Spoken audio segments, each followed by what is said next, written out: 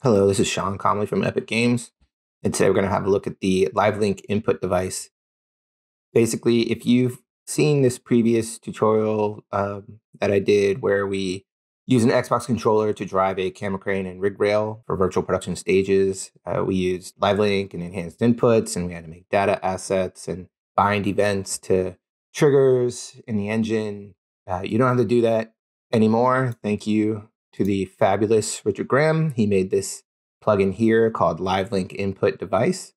So basically takes 30, 45 minute job down to something that's like 10 minutes. People have been asking me to make a video about how to use a Xbox controller to drive a ICVFX or NDisplay wall. So I was going to make this regardless uh, for that tutorial, and I figured I would just split it apart into two videos because this this has a lot of use cases, not only in you know virtual production and performance capture, but also in like live events. So we're just going to make like a little tank today, something that kind of moves like a tank. Uh, if you want to make something that moves like a car with suspension and you know moves off the right axles, and i'm going to be head on over to Tony Bowron's channel. But for our purposes, we just need something simple, and uh, we're not that fancy over here. So First things first, uh, enable the live link input device plugin here. So let's go ahead and make a blueprint actor, and just call this uh, VP Xbox Drive. Double click. Check this out here.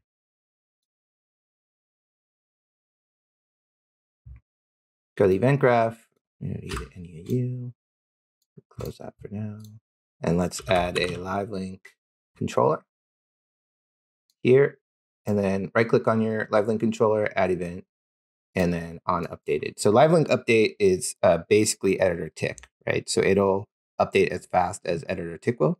So as always, be careful what you put in here. If it's something that's you know very computationally heavy, then it could slow down your engine.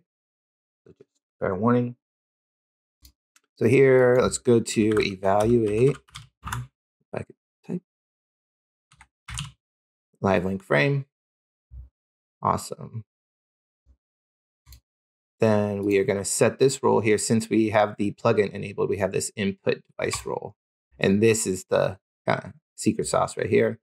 Let's promote uh, this subject variable so that we can set it on the actor and the level, and then let's make it public now because I always forget to do that. Cool.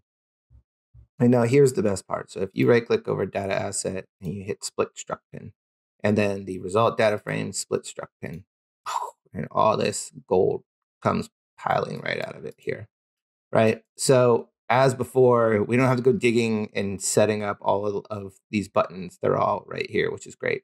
As an example of, of what sort of data this kicks out, let's just go to the left stick here and we will print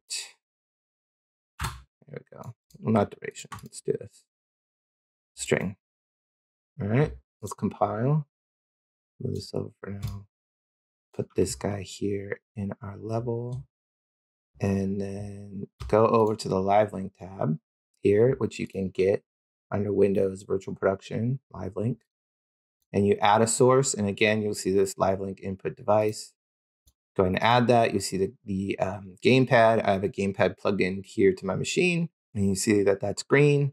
And we should be able to, assuming that I, there we go. Now I need to set this on the actor. All right. So you see all the zeros. And now, let me turn on my camera. There you go. And now you see, oops, when I put the left stick down, you see one, right? So this is how fast LiveLink update is ticking inside your scene. So basically, it's just spitting out, you know, zero or one, right? It's it's just saying this has been initiated or not. So we're going to use that uh, as a way to drive our blueprint. Okay, let's go ahead and we can mix those, turn off the camera. All right, so the first thing that we're going to want to do is we're going to want to use that left stick to be able to drive it around. So under valid frame, go add actor local offset here. and then split struct pin over this so that we can get at individually to XYZ. And then we're going to want left stick up and down.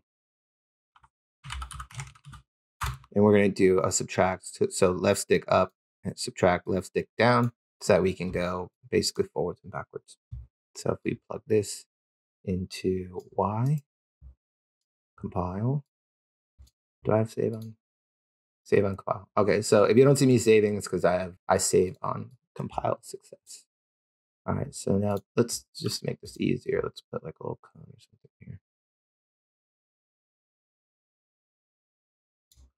There you go. Zero you out. Take you. Put you under. Oh. You under here. Zero you out. And let's kind of rotate you. I don't know which direction is forward, so we'll see. Anyways, so now that we have this here, let's grab our controller, and you see that we are moving it here very slowly, and we need to rotate our cone around, but that's fine. If you're having trouble here with your Xbox controller, kind of like moving your windows and stuff around, if you go into if you go into editor settings and you type joystick, yeah. So level editor joystick controls, you can toggle this off. And now let's take this cone, let's rotate it around here. Cool. So now that was great, but that was super slow. So what we're gonna, let's just add a mult so that we can multiply the speed. Let's um, promote this to, oh, I need to promote to variable, and we'll call this um, speed mult. Make it public, compile so we can get a default, and uh, let's just put this to 10 or something. Plug this in. All right, let's go back here. And now, awesome, we're a lot faster. And since we made it public, you can change this here on the actor. So it's probably gonna be super fast. Yep, great. All right, up to 10. Awesome. So we have something that's going back and forth with our Xbox controller using the uh, L stick. Perfect. Let's keep it building onto our little tank here. Now let's use um since we're going like forwards and backwards, I mean we might want to rotate it around, have it drive around. So let's add a actor local rotate. Rotation. Awesome. And same deal, we want to get at um where Unreal Z up, so we want to get at Z. So let's go over and grab, let's use the right stick. We'll do left and right. To subtract here, here, it over here, and we know that we're probably going to want to multiply for our speed.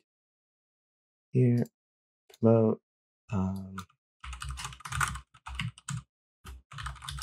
Asian speed mult, and this will be Z, compile, and uh, 10. Great. Okay, let's go back over here. And awesome. So now controller. We'll see that now I'm using the right stick to rotate us around while we're driving. We can go forwards and backwards. Fantastic. Now let's build a nudge into this so that we can kind of nudge it left and right. And we can use the D-pad for that. Let's move that over. And then we'll add another local offset here. Split struct pin. And we're going to want to get at the X and Z location, I think. So let's use the uh, D-pad up and down and the D-pad left and right so that we can nudge it left and right. So let's go here. Let's go D-pad uh, up and down like this. And let's do D-pad right and left this. And we know that we're going to want to multiply both of these again by speed mult. And let's do promote to variable nudge speed mult.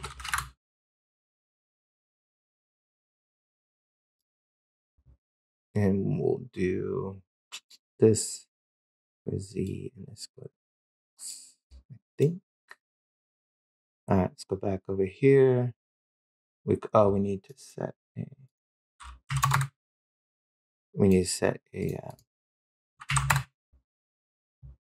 speed bump, and we need to all right, always forget these. Let's make that so we can set them on the actor.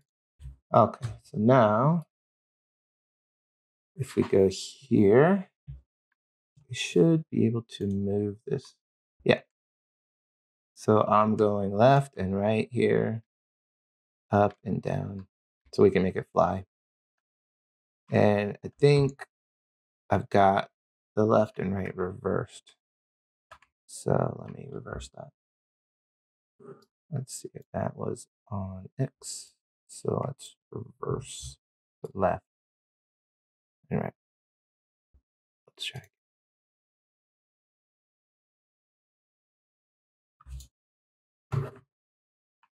There we go. Perfect. Awesome. So if you wanted to nudge it around, like let's say you had it in the perfect spot, and you know somebody's like, ah, can you just move it just a little bit to the left? Awesome. Um, now the last thing is uh, right now it just drives around on one plane. If you wanted to be able to like fly up in the air, we can do that. So let's add here, let's add a actor local rotation. Awesome. Split struct pin again. Here we go. Oh, we're gonna do uh, right stick up and down because we did right stick left and right to move it around. So right stick up and down. Subtract.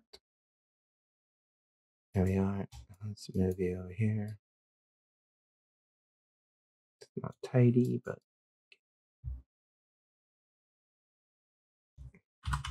multiply and let's plug. And you can make a separate one for that if you want. So X. And let's compile. Okay, so now we move around. Oh, so now we can go up and down and rotate it how you want. Now, you may this is this makes it a little bit hard to drive sometimes. So, what we can do is let's put let's let's put a gate here. So let's do branch.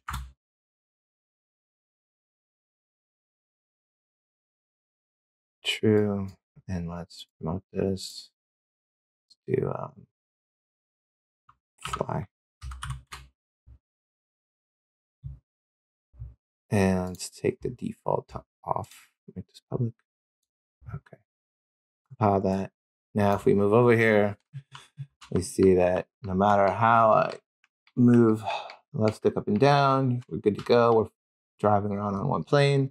If I go over here and I say fly, now I can move around.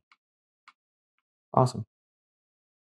So, like I said, this may seem simple, but it's got a bunch of value on stages and it's got a bunch of value in live events where you know, if you want to control things that happen on an LED screen behind any performer, or you know, even if you want to give control over things to the performer themselves. I mean, that's something that we're constantly looking at is is how to let the performer have control over some of the actions that are happening around them and behind them.